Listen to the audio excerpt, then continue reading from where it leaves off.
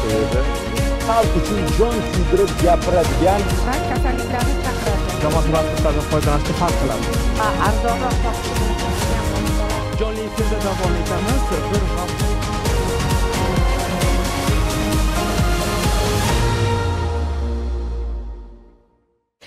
yigirmanchi avgust sanasi ikki ming yigirma to'rtinchi yil.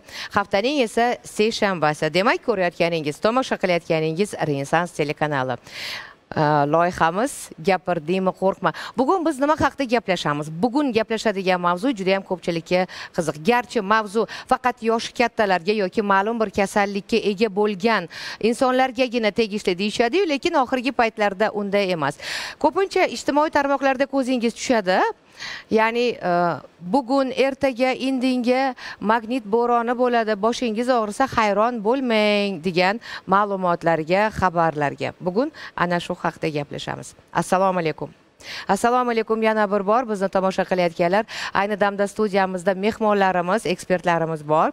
Ekspertlarimiz eh, chori sherdanov o'zbekiston fanlar akademiyasi astronomiya instituti katta ilmiy xodimi fizika matematika fanlari doktori.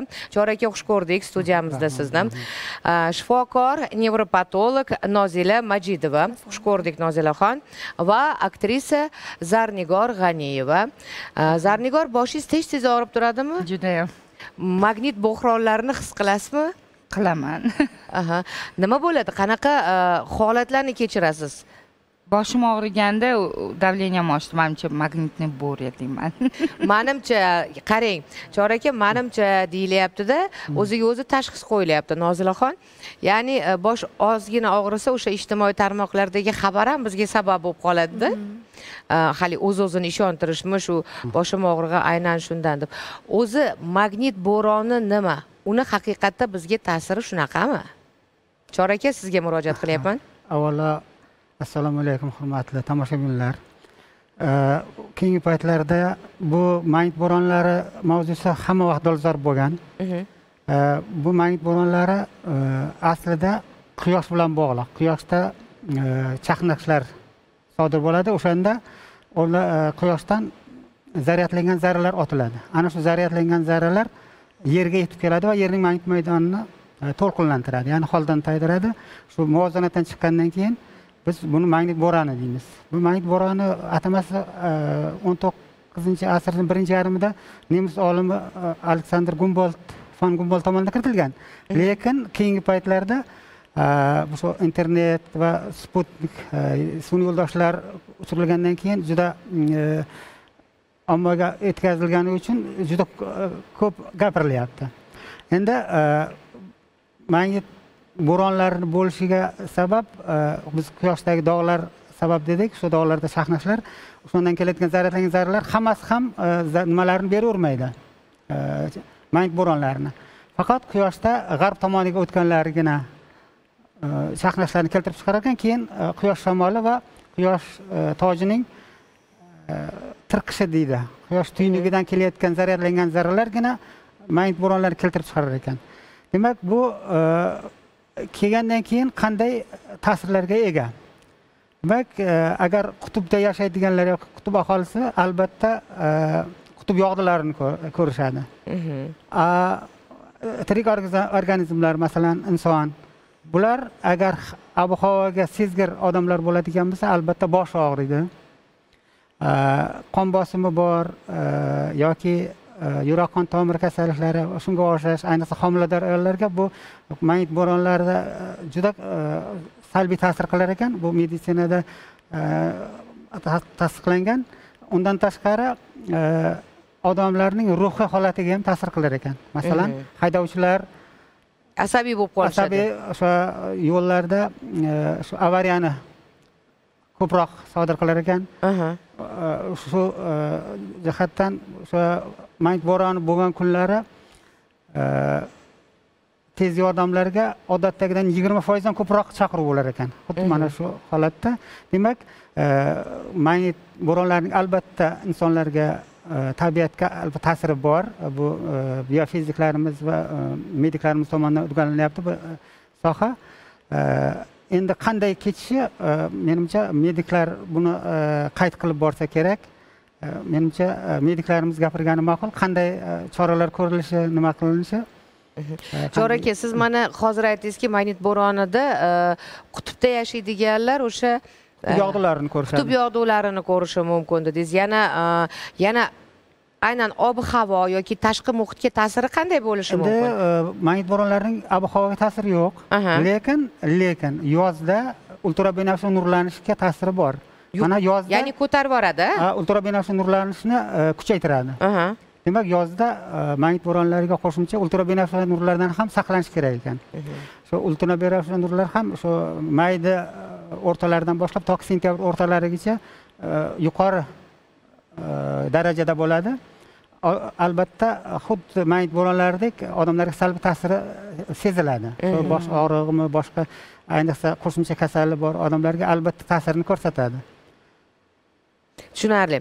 Uh, nozilaxon siz tibbiyot xodimi bo'lganingiz uchun shifo- shifokor bo'lganingiz uchun uh, bevosita sizga murojaat qilishimizga to'g'ri keladi. Chunki chor aka ham o'zlari ko'rsatdilar ya'ni tibbiyot xodimlari buni yaxshiroq biladi dedilar. Haqiqatda shunday uh, magnit bo'ronlarini o'zi haqiqatda ta'siri bormi bizga? Assalomu alaykum. Va alaykum assalom oxirgi tadqiqotlar shuni ko'rsatadiki a, magnit to'fonlari rostdan ham ta'siri bo'ladi. Odam organizmiga ayniqsa a, arterial gipertenziya kasalligi bilan kasallanadigan a, migren kasalli- kasalligi bor bemorlarda bu narsa kuchliroq ta'sirini ko'rsatadi. Va buni oldini olish va buni yechimi ham mavjud.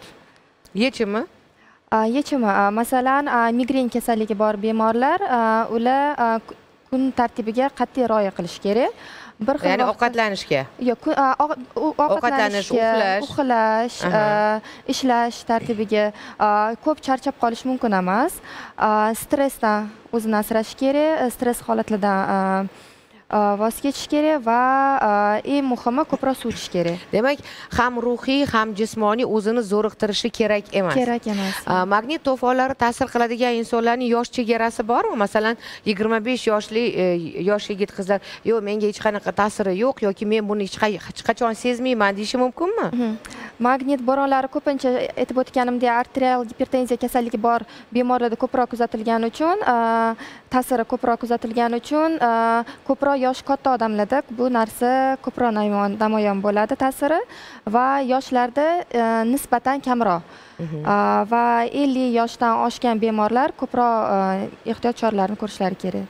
Mhm.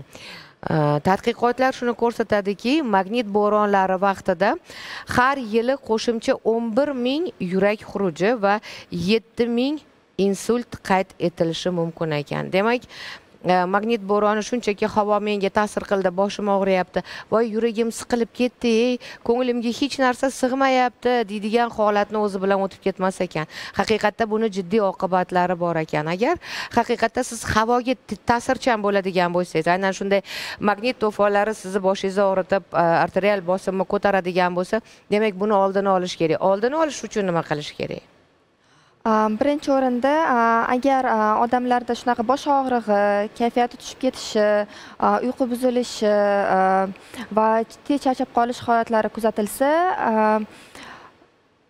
shifokor maslahatini olish kerak. Chunki siz nevropatolog e, sifatida nimani maslahat berasiz? nevropatolog sifatida ko'pincha a, bizaga keladigan be- bemorlar asabiy bo'lib qolganini e, aytib o'tadi. Magnit to'fonlar payti unaqa paytlarda a, lavanda romashka shunaqa choy damlamalarini ichib turish kerak va agar kerakli bo'ladigan bo'lsa mrt va boshqa tekshiruvlarni qilgan ma'qul. Mhm, anig'ini ko'rish uchun nima qanaqa jarayon kechyapti odam organizmida. Mhm. chor aka nimadir endi demoqchilar e, avvalo e, magnit bo'roni bo'ladigan kunlarni bilish kerak. Bular prognoz qilinadi. Nasani kosmik tadqiqotlar markazi bor. O'sha e, e, bu uch kunlik va yigirma yetti sutkalik prognozlar berib boradi. Masalan men kechagi prognozni qaraganimda e, yigirma yigirma bir yigirma ikkinchi avgustlarda e, magnit bo'roni bo'lish bo'ladi deb bermayapti. Demak magnit bo'roni kuzatilmaydi. Yigirma yetti sutkalikda ham o'rtacha kap indeks deymiz ikkini ko'rsatyapti. Bu ham magnit bo'roni emas. Kap indeks to'rtdan yuqori bo'lishi kerak besh. Lekin lekin E, bunda quyoshning holati ya'ni quyoshdagi dog'larning holatiga e'tibor berish kerak. Quyoshda hozir e, markazida katta dog' bor va e, sharq tomonda yana ikkita uchta katta dog'lar kelyapti. Bular albatta bir haftadan keyin quyoshning g'arb tomoniga o'tadida undan chiqqan chaqnashlar paytida otilgan zaryadlangan zillar albatta yerga yetib keladi ikki sutkadan keyin o'shanda magnit bo'roni bo'lishi mumkin demak hozir mening tajribamdan aytayotgan bo'lsam demak o'n kunlardan keyin albatta magnit bo'ron bo'ladi ana o'shanda taxminan o'rtacha kuchli magnit bo'ronlar bo'ladi ana shunaqa sanalarni oldindan bilish tavsiya etiladi keyin mediklar aytadi e, sog'lom odamlarga deyarli ta'sir qilmaydi deb. Lekin lekin baribir sog'lom odamlar ham o'zini ehtiyot qilish kerak. Mhm. va e, ayniqsa yoz paytida ultrabinafsha nurlanish kuchayadigan paytda magnit bo'roni bo'ladigan kunlarga to'g'ri keladigan bo'lsa o'n birdan soat uchgacha e, oftob tig'ida deydi o'sha ko'chada emas soyada bo'lish tavsiya etiladi. Mana shunaqa umumiy tavsiyalar bor. O'sha ko'proq suyuqchilik ichish kerak deyiladi. Va hokazo E, bunda albatta shu bo'roni bo'ladigan kunlarni oldindan bilish e, maqsadga muvofiq bo'ladi. Mhm. Zarnigor sizni alohida tanishtirmadim. Tomoshabinlarimiz yaxshi tanishadi deya zarnigor g'aniyevani albatta yaxshi taniysiz sevimli aktrisamiz. Siz hali suhbatni avvalda birinchi sizga yuzlandimda ta'sir qiladimi sizga dedim. Albatta ta'sir qiladi boshim og'rib давлением ko'tarilib qoladi dedingiz. Lekin men boshqa narsani o'yladim bilasizmi nima biz haligi ijtimoiy tarmoqlarni kuzatamizda magnit bo'roni bo'ladi desa degan xabarni ko'rib qolsak o'zimizni shunga ruhan tayyorlaymiz. Demak meni bu- bugun boshim og'riydi. Demak давлением ko'tariladi qon bosimim ko'tariladi. Demak o'zimni uncha yaxshi his qilmasam kerak deya o'zimizni shunga e, ruhan tayyorlayotganga ham o'xshaymiz. Shu xabarlar sizga qanchalik ta'sir qiladi? Ana shuni so'ramoqchi edim. Man e, o'zi birinchi havo e, boshim og'rigandan bilaman. Mhm. Mm. chunki bosh dori ichsam ham o'zimga kelmaymanda yo'q давлением o'lchatsam давлением yo tushgan bo'ladi yo chiqqan bo'ladi. Lekin keyin aytishadi shu magnitniy буряni ham man ham eshitib bilganman. O'shandan bo'lishi. A, shifokorga murojaat qilganingizda shunaqa bo'lganmi? Ehtiyot bo'ling shunaqa e, magnit to'fonlari sizga ozgina ta'sir qilishi mumkin deyishganmi? Aynan e, ximiya olayotgan paytimda mm, bilasiz saraton kasalligi bilan kurashayotganimda ximiya olayotganimda e, ko'p shunaqa давлением oshganda shifokorga telefon qilardim. Давлением oshyapti deganimda e, u ximiyadan emas u hozir havo magnit bo'lyapti shundan. Dori iching deb maslahat beradi mana shu dorini iching deb maslahat beradi tomoshabinlarimiz diqqat e'tiboriga mehmonlarimiz ham bilishmasa kerak zarnigor g'aniyeva bugungi kunda saraton kasalligi bilan kurashayaptilar. Shu bilan birga ijoddalar shu bilan birga qaynoq e, faoliyatda yuribdilar. Ko'z tegmasin. Biz chin dildan duodamiz shifo so'rab qolamiz albatta zarnigor uchun ham. Mana shunaqa e, kuchli bo'lavering e, mana mana bilan aytardilar har qanday kuchli odamdan kasal chekinar ekan san yengilishni boshlasang ustingga yopirilib kelganga o'xshaydi deb biz sizga salomatlik tilaymiz. Rahmat. Va albatta mana shu mana shunday go'zal holatda sizni doim ko'rishni xohlagan bo'lardik. Qadrli tomoshabin bugun magnit to'fonlari u magnit to'fonlarning hayotimizga ruhimizga jonimiz jismimiz salomatligimizga ta'siri haqida gaplashyapmiz. Mutaxassislar bor ularning fikri esa muhim o'tkazib yubormang. Reklama so'ng qaytamiz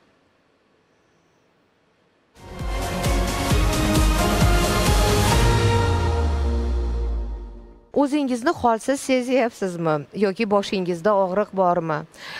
Bilmadim qandaydir jismoniy mashqlar bilan shug'ullanishni ham istamayapsizmi? Unda tekshirib ko'ringchi izlab ko'ringchi balki bugun magnit to'foni bo'layotgandir. Har qalay shunaqa deyishadi magnit to'foni paytida bosh og'rig'i bo'lishi mumkin e, ruhiy holsizlik jismoniy holsizlik bo'lishi mumkin. O'zingizni zo'riqtirmang soya salqinda yuring deyishadi. Bu haqda e, studiyamizga kelgan mehmonlarimiz ham e, bot bot takrorlashyapti chori sherdanov o'zbekiston fanlar akademiyasi astronomiya instituti katta ilmiy xodimi fizika matematika fanlari doktori nozila majidova shifokor nevropatolog zarnigor g'aniyeva aktrisa mehmonlarimizdan tashqari o'zim ham haligi o'zimda bo'ladigan magnit to'foni paytida bo'ladigan holatlarni aytib hozir efirdan tashqari vaqtda ham maslahat so'rab oldim haqiqatda shunaqami yoki yo'qmi deya ishonchim komil bizni tomosha qilayotganlar orasida ham xuddi ana shu shunday holatlar yuz berishi mumkin. Ya'ni e, tibbiy muolajaga yoki tibbiyot xodimlariga murojaat qilish uchun e, kerakli bo'lgan holatlar bo'lishi mumkin. Ayniqsa magnit to'foni paytida nimalar qilish kerak? E, biz hozir har ikkala mutaxassisimizdan bildikki ya'ni magnit to'fonni haqiqatda inson salomatligiga ana shunday jiddiy ta'sirlari bor nimalar qilish kerak deganda tibbiyot xodimlari ko'rigidan o'tish kerak deganini aytdilar nozilaxon va undan tashqari o'zimizni tibbiyot xodimlarisiz qanaqa tayyorlashimiz mumkin magnit to'foniga avvalambor agar qa- qandaydir xronik kasalligi bo'lsa odam a, yonida o'sha har doim ichib yuradigan dorilarni olib yurishi kerak masalan a, qon bosimi ko'tariladigan bemorlar a, qon bosimini tushiradigan dorilarni olib yurishi kerak. Asabiy odamlar yengil tinchlantiruvchi dorilarni sumочкасida olib yurgani yaxshiroq. Mhm. Va mm, stressdan xoli bo'lishi kerak. И yana magnit to'fonlari mashina haydayotgan odamlarga ham ta'sir qilishi mumkin. Chunki diqqatni pasaytiradi va shuning uchun harakat qilish kerak a, to'yib uxlashga va a, bunday holatlarni oldini olishga avariyalar mashina haydaysizmi zarnigor Uh, t- faoliyatingiz faol judayam judayam haligi jo'shqin hozir. Hozir nozila aytib o'tgan hamma holat bo'lishi mumkinda asabiylik. Chunki diqqatni jamlay olmaslik asabiylik bosh og'rig'i arterial bosimi ko'tarilishi uh, ayniqsa uh, hozir yana bir bor takrorladilar uh, mashina haydaydigan insonlarda deya. Bu narsa ham o'zini ta'sirini o'tkazganmi sizga? O'tkazadi. Ko'p a, urishib ketaman. Yo'llardami? Uyqusizlik. Uyqusizlik, uyqusizlik kam ertalab man ertalabgacha uxlolmayman Mhm. ertalab shu ikki soat yo uch soat uxlayman yana ketaman buni ham ta'siri bor a nozila albatta. Ha. ham ikki tomonlama ta'sirda ham uyquga to'yinmagan bo'lsa ham tashqi tashqi ta'sir bo'lib ya'ni magnit to'foni bo'ladigan bo'lsa sizda ham qandaydir muammolar yoki savollar tug'iladigan bo'lsa ekraningizda ko'rib turgan botga murojaat qilishingiz savollaringizni yo'llashingiz mumkin bo'ladi. Biz to'g'ridan to'g'ri jonli efirdamiz yana nimanidir qo'shimcha qilmoqchi edingiz adashmasam yana yoga meditatsiya usullari ham bor. Odamni tinchlantirishga xotirjamlik saqlashga yordam beradi. Shu usullarni ham qo'llagan juda yam yaxshi keyin yana bir narsa chor aka aytishlaricha kuchli quyosh chaqnashi yerning zamonaviy aholisi uchun ko'plab muhim tizimlar ya'ni o'sha uh, sun'iy yo'ldoshlardan tortib elektr tarmoqlarigacha o'chirib qo'yishi mumkin ekan magnit to'fonlari. a, a, albatta bunday holatlar kuzatilgan. Mhm. Bu bir ming sakkiz yuz oltmish to'qqizinchi yilda shu magnit bo'ronlarini o'rganish tarixiga nazar tashlasak eng kuchlisi bo'lgan o'shanda elektr tarmoqlarini telefon aloqalarini uzib qo'ygan yaqindagisi ikki ming beshinchi yilda bo'lgan A, bu sun'iy yo'ldoshlar bilan aloqani uzgan. Shuningdek mana bu mm, qo'l telefonlarimiz deymiz shu mobil telefonlarni ham uzilishiga sabab bo'lgan. Odatda magnit bo'ronlari bo'ladigan paytda radio aloqalar uziladi qisqa vaqtga bo'lsa ham. Shuningdek agar sun'iy yo'ldoshda yurgan kosmonavtlar bo'ladigan bo'lsa ular sog'lig'iga jiddiy zarar qilishi mumkin. Chunki zaryadlangan zarralar to'g'ridan to'g'ri ularga o'tib borib ta'sir qiladi. Bunday holatlar bo'lib turadi. Bu jarayonlar bo'lishi tabiiy. Birinchidan shuni aytish kerakki va davriy jarayon. Hozir quyosh aktivligining yoki faolligining maksimumi deymiz. Yuqori cho'qqisiga chiqqan payti menimcha yana yarim yil bir yillar davom etadi va keyin qaytadi. Bu umr yillik sikl bilan e, ta- takrorlanib turadi. Ha astronomiyada bu o'zini sikllari bor ya'ni davomiylik yillari. Yillar o'sha davomiylik hozir shunday e, quyosh chaqnashlari mana uch yil to'rt yildan beri eshitayotgan bo'lsalaring ko'p. bo'lyapti. Mhm. mana yana bir bir yil uzog'i bilan ikki yillardan keyin kamayib umuman e, quyoshda dog'lar kuzatilmasligi mumkin. Bundayda umuman magnit bo'ronlari kuzatilmaydi. Mhm. lekin bo'lsa ham kuchsiz e, va e, ta'siri kam bo'ladi. E, umuman dog'lar bo'lmaydigan kunlar ham bo'ladi. Mana shunday davrlar ham bor. Magnit aktivligining davri o'zi yigirma ikki yillik sikl. Lekin mana bu magnit quyosh dog'lari bilan bog'liq magnit bo'ronlari bu umrlik sikl bilan takrorlanib ko'payib kuchayib turadi. Mhm. yaxshi xabar hurmatli tomoshabinlar yaxshi xabar suyunchi bering. Xudo xohlasa. Nasib etsa yana ikki yildan keyin magnit bo'roni asta sekin pasayishi mumkin ekan. Chunki olimimiz shunday deyaptilar. Biz ishongimiz keladi judayam har qalay sog'lom turmush tarziga ko'chaga chiqqaningizda sizga ob havoni faqat ijobiy ta'siri bo'lishiga nima yetsin to'g'rimi? Rulda ketasizmi? Rulda bo'lasizmi? Yoki ish joyingizda bo'lasizmi? Kayfiyatni zo'r bo'lganiga hech narsa yetmaydi. Savollaringiz bo'lsa albatta shifokor nevropat a, nozila ham shu yerdalar ularga ham beradigan savollaringiz bo'lishi mumkin. Yana bir narsani juda yam ko'p takrorlashadi nozila a, o'sha paytda magnit a, to'fonlari kuchli bo'layotgan davomiy bo'layotgan paytda ovqatlanishga alohida e'tibor berish kerak deyishadi. Bu qanchalik to'g'ri va nimalar yeyishimiz kerak o'sha paytlarda? Hmm. Birinchi o'rinda tuzli mahsulotlarni kamaytirish kerak chunki e, tuz organizmda yig'ilib e, arterial gipertenziyani oshishiga olib keladi. E, dudlangan mahsulotlar kamroq iste'mol qilish kerak. Ko'proq suyuq ovqatlar iste'mol qilish kerak va meva sabzavotlar. Mhmm. Hozir menga yozishlaricha oho bir necha savollar kelgan ekan. Samarqanddan madina. Qornim och qolganda boshimda qattiq og'riq paydo bo'lyapti. Bu ham magnit bo'roni bilan bog'liqmi? Qornim och qolganda. Har doim ham bosh og'riqlari magnit to'foni bilan bog'liq bo'lmaydi. Bu qorningiz och qolgani uchun og'riyapti ko'pincha a, bosh miya kasalliklari a, shunaqa o'zini bildiradi. Kimdadir charchaganda kimdadir bosh og'riganda kimdadir ko'proq uxlab olganda kimdadir kamroq uxlab olganda shu narsa Mhm. namoyon bo'ladi. Lekin har doim aman bu narsa magnit bo'ronlaridan bo'lmaydi Yo'q, Mhm. men- menda ham bir fikr bor. Mana bu magnit bo'ronlari bo'ladigan kunlarda umuman sog'lom turmush tarzi bo'lish uchun eh, kishilar odamlar yengil eh, jismoniy mashqlar qilish kerak ekan. Endi bu yoq saraton kasalligiga chalingan eh, boshim og'riydi deydiku u ob havo o'zgarganda ham shunday bo'lishi mumkin. Magnit bo'roni bo'lmasa ham. Undan tashqari oyning holatiga ham bog'liq bo'ladi. Mana kecha super oy kuzatilgan bo'lsa ya'ni yerga eng yaqin keladigan holatlari bo'ladi oyning mana shunday holatlarda ham uh, agar qo'shimcha kasalligingiz bo'lsa albatta bular ta'sir qiladi. Demak Mhm. uh, tabiatdagi hamma hodisalarga e'tibor bilan qarash tavsiya etiladida. Masalan uh, yangi oy chiqqanda qanday o'zingiz sezasiz? To'lin oy bo'lganda qanday? Masalan hozir to'lin oy paytida demak o'zingizni yomon his qilishingiz ehtimoli katta bo'ladi.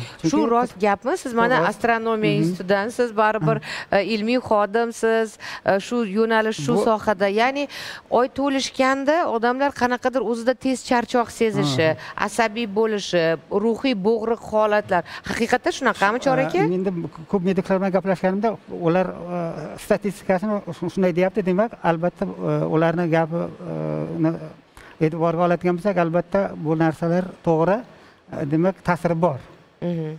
demak to'lin oy paytida albatta shunaqa uh, nimalar bo'lar ekan? Odamlarda uh, noxush holatlar o'zini charchoq deymizmi boshqa mana shunaqa salbiy holatlar kuzatilishi bor ekan men hattoki shu internetda o'qigan xabarlarimdan bittasi aynan oy to'lishganda endi astronom olim o'tirgandan keyin nafaqat e, magnit bo'roni haqida gaplashamiz. O'sha oyni to'lishgan yangi payti yoki e, kichrayib borayotgan tugayotgan payti haqida ham gaplashamizda aynan ana shunday paytda oy to'lishgan paytda e, avariyalar ham hattoki tez bo'lar ekan degan ma'lumot o'qigan edim. Ehtimol bu bo'ladi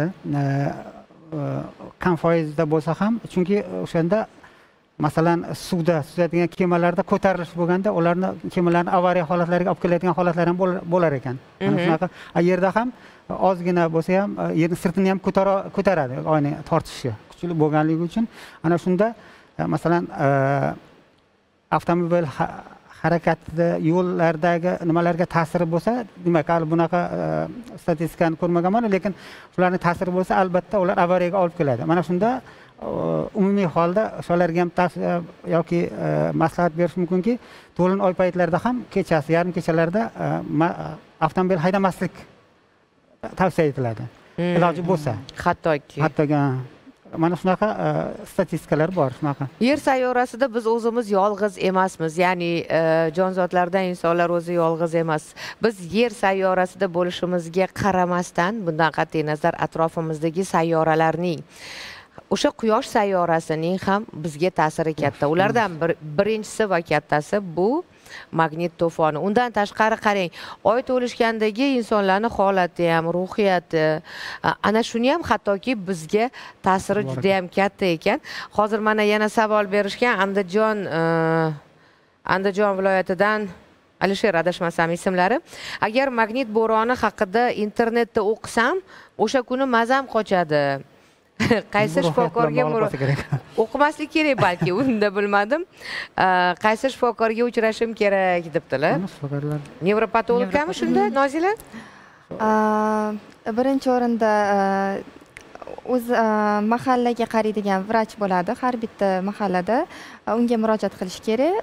Keyin anamnez yiqqandan keyin o'zi yo'naltiradi. Aynan qaysi mutaxassis kerakligini ayt- aytadi lekin ko'pincha bu narsa odam o'zini o'zi ishontirishdan bo'ladi. Ha magnit bo'roni bo'lyapti. Ha. hali yuqorida aytdimu shunaqa psixik holat. demak menga hozir ta'sir qilishni boshlaydi boshim og'rishni boshlasa kerak. Davleniyam ko'tarilmasmikin deb o'zimizni tayyorlab olamizda menimcha sizda shunaqa bo'lmaydimi mabodo savollaringiz bo'lsa mutaxassislarimiz o'tirishibdi. Ularga yo'llashingiz mumkin bizga yo'llash. Magnit bo'roni quyoshning oyning yerga ta'siri va yerdagilar uchun ta'siri haqida zarnigor sizga yozishibdi. Zara opa ijodingizga omad. Uyqusizlikka chora topdingizmi deyishibdi. Yo'q hali. Aha. Bu o'sha e, kasallikka chalinganingizdan keyinmi yo avvalam bormidi avvalam bor edi. E, kasallikka chalinganda butkul ertalabgacha uxlamaydigan bo'ldim. A qachon uxlaysiz unda? Ertalab shu yettida uxlayman o'n birda turaman. Bu uyqu e, menimcha normal hayot kechirish uchun miya faoliyati uchun qon aylanishi uchun hammasi uchun yetarli emas to'rt soat uxlash. Bilaman. Iloji yo'q uxlolmayman. haligacha ham shunaqami Hmm, doktorlar e, chora ko'rib shu dori ukollarni nima qilishdi manimcha bilmayman ana magnitli bo'ri bo'lsa kerak. Hozir nima bo'lsa e, bizga aybdor magnitni e, magnit bo'ronlari bo'lyapti lekin shunga qaramasdan to'g'ri zarnigorda e, yondosh sabablar ham bor boshqa sabablar bo'lishi mumkin. Lekin qarang sizni tomoshabinlaringiz muxlislaringiz bilisharkan. Sog'lom. Ana shunaqa hali uyqusizlikka chalinganingizni ham. Zo'riqish masalan hozir aqliy mehnat bilan shug'ullanadiganlar uchun mm, mana shunday suhbatlar ham yoki mana shu ssenariyni yozish ham a, zo'riqish bo'lishi mumkinda. Hmm. faqat jismoniy harakat emas bu. Magnit bo'roni payti biz nima qilaylik? Ko'rsatuv olib bormaylikmi ssenariy yozmaylikmi? Chorakka kulyaptilar. Hammasini magnitni ma- magnit bo'roniga ag'darmanglar aybni deya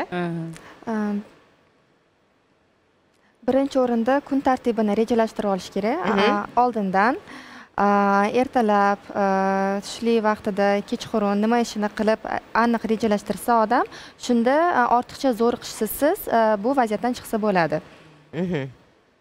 birinchi o'rinda rejalashtirish kunni rejalashtirishimiz kerak. to'g'ri rejalashtirish. Bilmadim siz qanday lekin e, menda haligi tashqaridan kelgan rejalardan tashqari o'zim rejalashtirib juda soatini soatiga qo'yib yubormayman.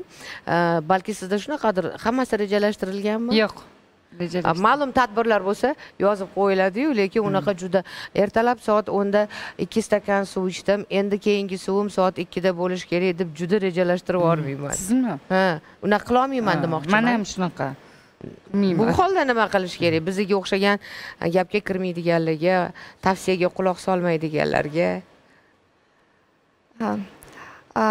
Asabiy zo'riqishni oldini olish uchun chunki baribir aqliy zo'riqish ham bu asab siz- Albatta. tizimiga ta'sir qiladi bu uchun odam a, shu negativ energiyasini qani qandaydir yo'l bilan chiqarib olishi kerak. Mana bu narsani bir haftada bir marta qilsa zarnigor yaxshi ish qilarkan yo'lda ketayotganda shu mashi- so'kima mashinada ketayotganda baqir chaqir qilib ketarkan. Ancha haligi asabiy zo'riqish ketar ekan.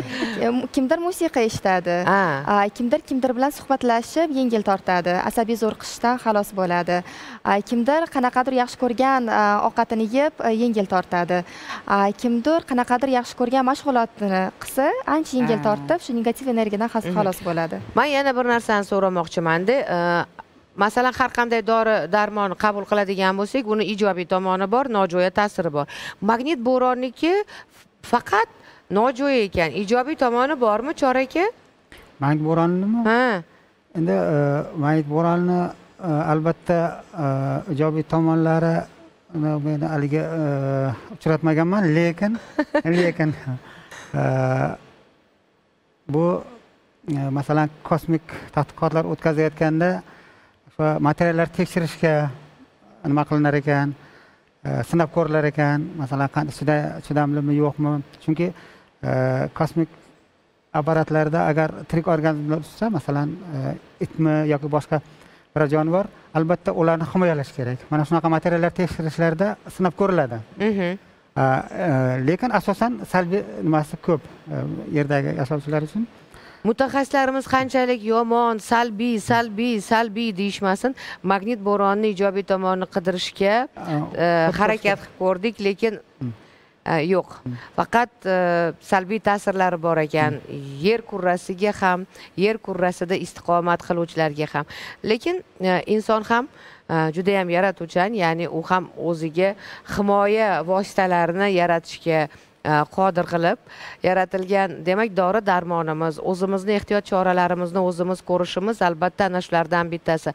Savollaringiz bo'lsa albatta bizga yo'llashingiz mumkin. Ekranlaringizda ko'rib turgan e, raqamlarga bizda yetib kelgan yana savollar bor edi. Xo'sh e, avgust oyida ham magnit to'foni bo'ladimi? Boshqa qit'adagi magnit bo'roni bizga ta'sir qilishi mumkinmi? Boshqa qit'adagi endi e, magnit bo'ronlari boshlansa yer yuzida birdan boshlanadi bu paytda. A, kuchi ham taxminan bir xil bo'ladi faqat vaqtda farqi bo'lishi mumkin. Chunki yer bilan quyosh orasidagi masofa bir yuz ellik million kilometr e, ikkalasini solishtirganda yer nuqta deb qarash mumkin bo'ladi demak agar e, boshqa qit'adagi e, bizni qit'adagi degan gap bo'lmaydi. Hammasida deyarli bir xil va bir paytda sodir bo'ladi. E, kuchi ham taxminan bir xil bo'ladi. Demak hozir ayni damda bizda magnit bo'roni bo'layotgan bo'lsa afrikada ham magnit bo'roni bo'ladi. endi ta'siri jihatdan odatda zaryadlangan zarralar qutblarga tortiladi. Masalan elektron bo'lsa boshqa tomonga proton bo'lsa boshqa tomonga chunki e, shunda ekvator tomondagilarga ta'siri kamroq bo'lishi mumkin lekin umuman magnit bo'ronlarini kuchi yer yuzida taxminan bir xil bo'ladi afrika bo'ladimi bo- boshqa bo'ladimi bundan e, nimaga tushish kerak emas vahimaga shu odatdagi kun tartibi bo'yicha ish olib borsa maqsadga muvofiq bo'ladi shu ruh holatlarini saqlab ya'ni tushkunlikka tushmasdan. Mhm. bilmaganimiz yaxshida qaysidir ma'noda qaysi ma'noda e, e'tibor bermagan ham ma'qul e'tibor bermaganimiz ham ma'qul. Mana hozir e, olimimiz ham shunaqa deyaptilar. Hali bilsak ko'proq vahimaga tushib qolamizmi? A zarnigor? Qanaqadir ha magnit bo'roni bo'lyapti ekan. Shu qulog'im og'rigani ham shundan. E, burnim qitishib ko'proq aksirib qolsam ham magnit bo'ronidan deb o'zimizga o'zimiz sabab topolmaymizda chor aka lekin sizga yaxshi savol kelibdi. E, navoiyda alisher yo'llagan quyosh dog'lari nega bizga ko'rinmaydi? Shuningdek quyosh tutilishi ham nima uchun bizda ko'rinmaydi? Boshqa mamlakatlarda qop qorong'i bo'lib qoladiku. Endi avvalo quyosh dog'larini ko'rish e, to- dog'larini ko'rish uchun albatta e, oddiy teleskop agar e, maxsus filtri bo'lmasa uni ekran orqali ko'rsa bo'ladi. Mhm. maktab teleskoplarida ham. E, u shu oq fonda oq nurda qora dog' bo'lib ko'rinadi. Mhm. bu aslida bu ham temperaturasi katta joylar. Masalan quyosh sirtida olti ming gradus kelvin bo'ladigan bo'lsa u yerda to'rt ming to'rt yarim ming atrofida bo'ladi.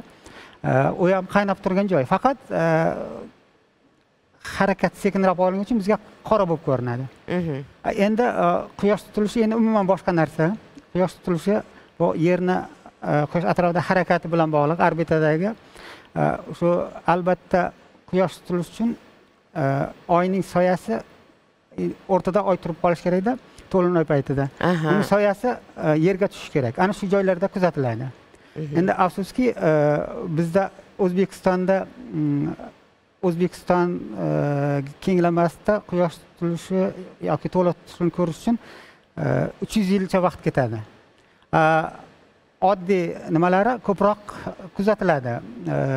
Qisman tutilish deymiz yoki boshqa tutilish deymiz. Qisman tutilishlari bular agar haqiqatdan ham o'sha to'la tutilishni nazarda tutayotgan bo'lsa albatta bu juda noyob kamyob hodisa deydi. Noyob hodisa ham ehtimolli. Bu buni e, shu yer orbitasini va oyna harakatida e, soya tushadigan nuqtalarni nima qilib chiqish kerak. Bu albatta biz e, territoriyasi katta masalan rossiya yoki qozog'iston yoki shimoliy janubiy amerikalar deydi ular ularni territoriyasi katta bo'lgani uchun ulardan albatta har yili ko'pincha o'shalarda o'tadi. Demak biz kichkinagina bir yer yuzida oladigan bo'lsak nuqtada turibmiz o'rga tushish ehtimoli kam lekin e, shu ikki ming oltmishinchi yilmikan e, toshkentda quyosh tutiladi buni ham e'tibor olib qo'yish kerak. Ikki ming nechinchi yil? Oltmishinchi sog' salomat yet- yetaylik o'sha yillarga. Astronomiya bo'yicha bir. yana savollar bor. Chorakka yana qaytamiz. Hozir menga rejissyorimiz xabar beryapti. Reklama reklama reklamamiz bor deya oldinda reklama biz esa magnit bo'roni magnit bo'ronini tanamizga ruhimizga jonimizga kayfiyatimizga ta'siri haqida gaplashyapmiz mutaxassislar bilan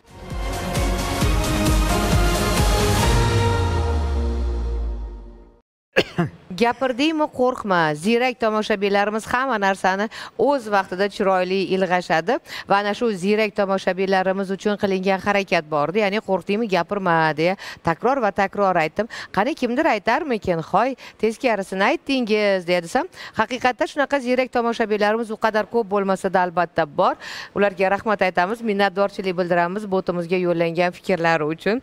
Va bugun biz eh, magnit bo'ronlari haqida gaplashyapmiz. Studiyamizda ekspertlarimiz bor. Chora sherdonov o'zbekiston fanlar akademiyasi astronomiya instituti katta ilmiy xodimi fizika matematika fanlari doktori e, nozila majidova shifokor nevropatolog va albatta sevimli aktrisamiz zarnigor g'aniyeva. Bizga esa o'sha e, ekranlaringizda ko'rib turgan bot orqali kelayotgan savollar bor. U savollarni albatta yana sizga shekilli. Adashmasam chor aka. O'n sakkizinchi avgust kuni magnit bo'roni yuz berdi. To'rt olti ball deyishdi. Bu kammi yoki ko'pmi? Darajasi ortsa og'riqlar ham kuchayadimi? Qiziq Ah. savol. Endi e, albatta magnit bo'ronining kuchi e, balli sistemalarda ikki xil sistemada olib boriladi asosan. Aha. Shulardan bittasi bu kp indeks deymiz. Ya'ni e, magnit yerning magnit e, holati o'zgarishi uch soat davomida e, qayd qilib boriladi. Va shunga qarab keyingisi prognoz qilinadi. Agar kp indeks bo'yicha to'rt olti deyayotgan bo'lsa bu o'rtacha kuchsiz magnit maydon e, magnit bo'roni hisoblanadi. Demak kuchsiz bu to'rt olti. To'rt olti kuchsiz. Agar r sinfi bo'yicha- aytayotgan bo'lsa r sinfida bu birdan beshgacha bo'ladi. J biri nisbatan kuchli va j beshi eng kuchli ekstremal deydi. Ya'ni shu e, elektr tarmoqlari telefon aloqalarini buzadigan yoki kosmonavtlar bilan e, salbiy ta'sir qiladigan umuman e, eng kuchlisi j besh sinfga mansub bo'ladi. E, keyingi savolni nima dedingiz davomini? E, darajasi ortsa og'riqlar ham kuchayadimi? endi darajasi ortsa albatta e, zaryadlangan zarralarning miqdori ko'p bo'ladi. Og'riq e, ortishi kerak e, ortadi albatta. E, bu nima kuchiga qarab qancha magnit bo'roni kuchli bo'lsa og'riq va nimalar shuncha kuchayadi kuchli bo'ladi. Mhm. chunki e, yerning magnit maydoni holati shunchalik e, og'ishi chetga og'ishi kuchli bo'ladi. Ya'ni normal holatdan yoki muvozanat holatdan chetga og'ishi katta bo'ladi. Demak og'riq ham kuchli bo'ladi yoshim yigirma yettida boshim qattiq og'risa dori ichaman keyin ertalab uyg'onishim juda qiyin. Ishga kech qolyapman. Ayniqsa magnit bo'ronlari kuzatilgan tunda. Bu savol menimcha sizga bo'lsa kerak chunki biz hali yuqorida aytdik-ku ya'ni magnit bo'ronlari e, ko'proq yoshi kattalarda o'ttiz ellik yoshdan e, katta bo'lganlarda deb. Shuning uchun e, tomoshabinimiz yozyaptilar. Yoshim yigirma yettida boshim ko'p og'riydi dori ichaman keyin uyg'ona olmayman. Deb. Yigirma yetti yosh unaqa katta yosh emas birinchi o'rinda aniqlash kerak nimadan boshi og'riydi odamni magnit bo'ronida o'sha kuni shunaqa bo'lgan edi deyaptilarda faqat magnit bo'ronida bo'ladigan bo'lsa uni xavfli tarafi yo'q. Keyin qanaqa dori qanaqa dozada ichishlariga ham bog'liq balki ular dorini noto'g'ri dozada ichayotgandirlar balki o'sha dozasini ko'tarib ichayotgandirlar yoki o'sha doriga ta'sirchanligi organizm ta'sirchanligi ko'pdir. Balki u dorini boshqa doriga almashtirish kerakdir. Uni endi patsient ko'rib tekshiruvlardan o'tkazib keyin anig'ini aytsa bo'ladi. Mhm. nevropatologdan qisqa lo'nda cho'rt kesadigan javob bo'ldi. Magnit bo'roni sizga qanday ta'sir qiladi? Hech bo'lganmi magnit bo'roni teskari ta'siri shu kayfiyat ko'tarilib ketib qolsa teskari ta'siri teskari mana bosh og'riq deyapmiz. E, uyquchanlik holsizlik shunaqa bo'lganmi? E, qanaqadir teskari ta'siri bo'lib birdan kayfiyat ko'tarilib magnit bo'ronida. A, endi men shifokor bo'lib ishlaganim uchun menga asosan negativ shikoyatlar bilan kelishadi odamlar. Agar yaxshi bo'lib ketsa kelmaydi ha to'g'ri. yaxshi bo'lib ketsa uni tvorishadi va bu narsani eslab eslatib o'tishmaydi. Mhm. Hech gapirishmaydi bu haqida zarnigor bilasizmi? Oxirgi paytlarda qarasam o'zim ham shu magnit bo'roni degan xabarga bog'lanib qolyapmanda keyin oxir oqibat aytdim yo'q dedim. O'zimga o'zim so'z berdim endi unaqa xabar o'qimayman dedim. Hattoki lentada chiqib qolsa ham lenta deymiz u chiqib qoladigan bo'lsa ham o'tkazib boraman deb o'qimayman. U qachon edi magnit bo'roni? Nimaga edi? Chunki o'qisam o'sha narsa menda xuddi e, kuchlanib ketayotganga qaytanga qolganda rivojlanib ketayotganga o'xshaydi. Sizda qanaqa? Manda ham shunaqa bo'lardi. Hozir e'tibor ham bermayman. Vaqtim ham yo'q hozir o'ylashga. Magnit bo'roni ham yengib o'tyapman. Yengib o'tyapman deganingizga esimga tushib qoldida aa, sizday jasoratli ayol uchun magnit to'fonlari nima bo'pti? Siz n- naq saraton bilan kurashayotgan paytingiz umuman shu haqda ham ozgina gaplashib ketmoqchi edim baribir zarnigor.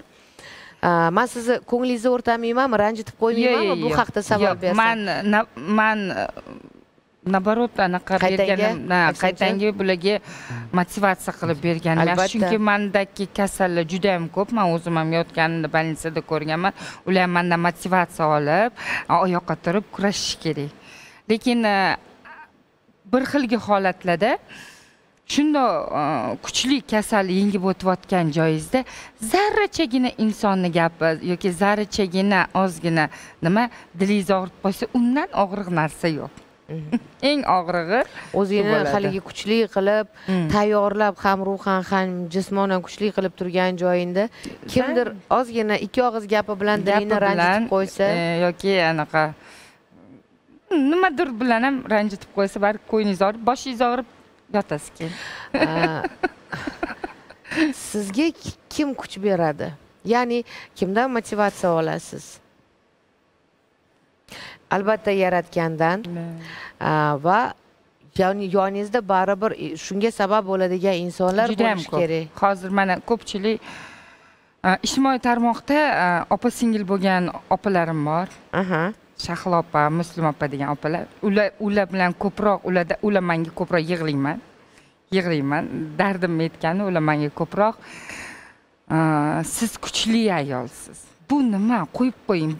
Biz sizdan olyapmiz motivatsiya. Siz bizga yig'lab berasiz deb motivatsiya berishganda o'shalarga qarab haqiqatdan kurashish kerak deb motivatsiya olaman ulardan ham. Mhm. Keyin yana aytishadiki shunaqa e, qattiq kasalga uchragan paytda kechir kechir balki kimnidir kechirmagansan man psixologlar ham shunaqa deydi ko'pincha shunaqa tavsiya berishadiki aa, qayeringizdir qattiq og'riyaptimi yoki qattiq dardga duchor bo'ldingizmi? Balki kimnidir kechirmagandirsiz qayeringizdadir og'riq qolib ketgandir yuragingizda deyishadi. Bo'ldi. Mhm. Birinchi shu kasal bilan e, kasal bo'lganimda professor so'ragandi. Endi ruscha gapirgan. Mhm. Э, ты ты degan обиженная женщина. Kimdan ты от мужа обиженная degan endi e, xafa bo'ldim deyolmayman ham ну bo'ladi baribir hamma ayollarda ham e, oilaviy anaqada jarohat bo'ladi Mhm. Shundan baribir bo'lganman ha demak qaysidir ma'noda o'sha psixologlarni tavsiyasiga ko'ra ichingizdagi xafagarchilik baribir bo'lgan. Bo'lgan. Qo'yib yubordingizmi qo'yib yubora oldingizmi? Qo'yib yubordim kechira oldingizmi? Lekin yana xafa qilishdi kecha kuni. Kim xafa qildi yana? Yana xafa qilishdi. Yana yana tushkunlikka tushmaslik uchun o'zim harakat qilyapman tushkunlikka tushmaslik uchun. O'shaning uchun kanalga keldim. Bo'lmasam kelmoqchi emasdim o'ranib yotgandim yig'lab. Yo'q yo'q yo'q unaqa qilib sizga yarashmaydi unaqa qilolmaysiz qilish mumkin emas sizlarga sizga. rahmat mani chaqirganinglarga. O'sha e, qarang endi kasallik biron bir kasallik yoki dard yetganda sinov yetganda gacha va keyin bor. Nimalar o'zgardi? Kasallikgacha bo'lgan va kasal bo'lganingizdan keyin ya'ni shu narsani bilganingizdan keyin o'zgargan holatlar bormi hayotingizda yoki o'zingiz o'zgartirishga harakat qilganlar? Kasallik tomondan yo'q umuman hayotiy qarashlar. judayam ko'p. Buni hozir aytsam serial bo'lib ketadi. Mhm. eng asosiylari o'zingiz intervyungizga chaqirganingizda aytib beraman. Eng asosiylari ayol uchun muhimi. asosiysi kuchli bo'lishni yana ham o'rgandim. Yana ham o'zimga ishonch ortdi avvalambor olloh Ah, oq bilan qorani oldin farqiga bordim deb o'ylardim lekin farqiga bormagan ekanman. Shu kasal bo'lganimda farqiga bordim. Yaxshi yomonni do'st dushmanni oq qorani nima mumkin nima mumkin emas Ah, qaysi yo'lga qadam bossa to'g'ri qaysi yo'lga qadam bosmaslik noto'g'ri. Juda yam ko'p narsani o'rgandim. O'sha narsa menga motivatsiya bo'ldi. Demak berilgan hattoki dard ham bejizga emas. Bejiz emas, hikmat. Hikmat bor. Zarnigor g'aniyeva ayni kunda xabaringiz bo'lsa kerak ularni yaxshi taniydigan tomoshabinlarni xabari bor. Sinov yoqasida turibdilar ya'ni dard bilan kurashyaptilar mardonavor kurashyaptilar jangovar ruhiyatda ya'ni men seni yengaman degan bu dard ham yengil dard emas saraton. Mm. A, ana shu kuch quvvatda shu kayfiyatda davom eting zarnigor rahmat biz ham davom etamiz. Magnit bo'roni haqida gaplashyapmiz. Magnit bo'roni haqida saytlarda e, chiqarish shartmi? Aholini ogohlantirish zarurmi? Axir bu bizning ruhiyatimizga ta'sir o'tkazyaptiku. Muhibaxon yo'llabdilar. Men ham shu dastur boshlangandan beri shuni aytyapman. Shartmi? Shunga qarab kasal bo'lib qolayotganga o'xshayman deyapman. Qisqa qisqa e, javob berib ketamiz hurmatli mutaxassislar. Gapirasizmi yo jor aka? Endi a, albatta xavfni oldini olish maqsadida a, berib borsa yaxshi. Men o'zim o'ylardim o'sha e, nafaqat e, ijtimoiy tarmoqlarda shu ommaviy axborot vositalarida ehtimol e, bir hafta Televideniya, radio orqali. radio orqali ham berib borsa faqat vahima qilmasdan e, shu e, ehtiyot choralarini ko'rishda mediklar bilan shifokorlar bilan maslahatlashgan holda og'ir kasalliklarni oldini olib qolish mumkinda. Chunki agar mangit bo'ronlar juda kuchli bo'lsa o'limga ham olib kelish mumkin ba'zi kasalliklarni shu o'limni ham soni kamayadi bu ma'noda berib borish kerak ruhiy tomondan ularga tushuntirib borish kerak bunda hech qanaqa vahima qilmasdan odatdagi ishini qilib e'tibor bermasdan yurishlarini berib maslahat berib borsa maqsadga muvofiq bo'lardi demak albatta bu yerda shifokorlarning roli katta bo'ladi. Ularga sog'lig'iga ta'sirini oldini olishda tushunarli. Shuning uchun e, shifokorimizga murojaat qilamiz. Nozila e, berilishi shartmi? Nima deb o'ylaysiz mana hozir aytyaptiki ruhiyatimga ta'sir qilyapti. А, internet ijtimoiy tarmoqlarda juda yam ko'p negativ informatsiya olamiz lekin uni qanaqa qabul qilish baribir birinchi o'rinda odam o'ziga bog'liq. Qanday qo'llash? Qanday qo'llash? Shun- shuning uchun ham a, buni cheklash juda yam qiyin negativ xabarlarni. Masalan magnitofoni a, negativ xabarni olmasa boshqa negativ xabarni olishi mumkin. Odam o'shaning uchun odam o'zini a, ongi a, har bitta odam o'zini ongi bilan ishlashi kerak va a, har bitta mm, ma'lumotni qanaqa qabul qilishi unga qanaqa reaksiya bildirishini ustida ishlash kerak. Albatta bunga juda yam ko'p psixologlar yordam beradi va nevrologlar ham o'zini yordamini berishi mumkin. Albatta ma'lumotlarni to'g'riligiga ham e'tibor qaratish kerak bo'ladi. Hammasi ham to'g'ri bo'lavermaydi. Mangut bo'ronlarimi boshqasimi ko'pincha yolg'on xabarlar ham bo'lishi mumkin o'shalarga e, e'tibor berib e, to'g'ri ma- nimani berib borish kerak albatta. Magnit bo'roni haqida e, qayerdan to'g'ri ma'lumot olamiz? Demak astronomiya institutidan. astronomiya institutida o'zimiz endi biz quyoshni kuzatib boramiz. Lekin magnit bo'ronini prognoz qiladigan haqiqiy ma'lumotni nasa deydi aqshda joylashgan o'sha kosmik tadqiqotlar markazi bor. O'sha tarqatgan ma'lumot to'g'ri hisoblanadi boshqalari to'g'ri emas. Mhm. Keyin rossiya ham beryapti ekan o'sha e, kosmik tadqiqotlar instituti hamda yer quyosh aloqalari instituti. Endi e, shu ma'lumotlarni to'g'riligi va qanchalik biz aytdikku prognoz taxminiy bo'lishi mumkin deb.